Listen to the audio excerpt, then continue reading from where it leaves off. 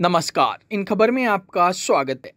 अंतर्राष्ट्रीय बाज़ार में कच्चे तेल की कीमतों में लगातार बढ़ोतरी के बाद कल उसकी कीमतों में गिरावट दर्ज की गई थी। ओपेक अपने कच्चे तेल के उत्पादन को कम करने का फैसला लिया था। इसके बाद से अंतर्राष्ट्रीय बाज़ार में कच्चे तेल की कीमतों में इजाफा दर्ज किया गया था, लेकिन कल इसकी कीमतों में एक बार फिर गिरावट दर्ज की गई है। ऐसे में सवाल यह उठता है कि कच्चे तेल की कीमतों में गिरावट के बाद क्या आम आदमी को पेट्रोल और डीजल की कीमतों में कुछ राहत मिलती है। वहीं देश की प्रमुख सरकारी तेल कंपनियाँ हिंदुस्तान पेट्रोलियम, भारत पेट्रोलियम और इंडियन ऑयल ने बुधवार सुबह पेट्रोल और डीजल की ताज़ा कीमतें जारी कर दी हैं। इसके मुताबिक पेट्रोल और डीजल की कीमतों में आज भी किसी तरह का कोई बदलाव नहीं किया गया है। देश के प्रमुख शहरों में पेट्रोल और डीजल की कीमतों में लंबे समय से किसी तरह का कोई बदलाव नहीं किया गया है। चलिए जानते हैं देश के चार प्रमुख महानगरों में पेट्रोल और डीजल की ताज़ा कीमत क्या है। देश की राजधानी दिल्ली में एक लीटर पेट्रोल की कीमत छियानवे पॉइंट बहत्तर पैसे और डीजल की कीमत नवासी पॉइंट बासठ रुपए प्रति लीटर है।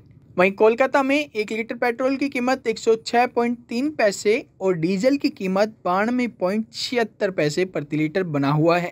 बात करें आर्थिक राजधानी मुंबई की तो मुंबई में एक लीटर पेट्रोल की कीमत एक सौ छः पॉइंट इकतीस पैसे और डीजल की कीमत चौरानवे पॉइंट सत्ताईस पैसे प्रति लीटर है। चेन्नई में एक लीटर पेट्रोल की कीमत एक सौ दो पॉइंट तिरसठ पैसे और डीजल की कीमत चौरानवे पॉइंट चौबीस पैसे प्रति लीटर है।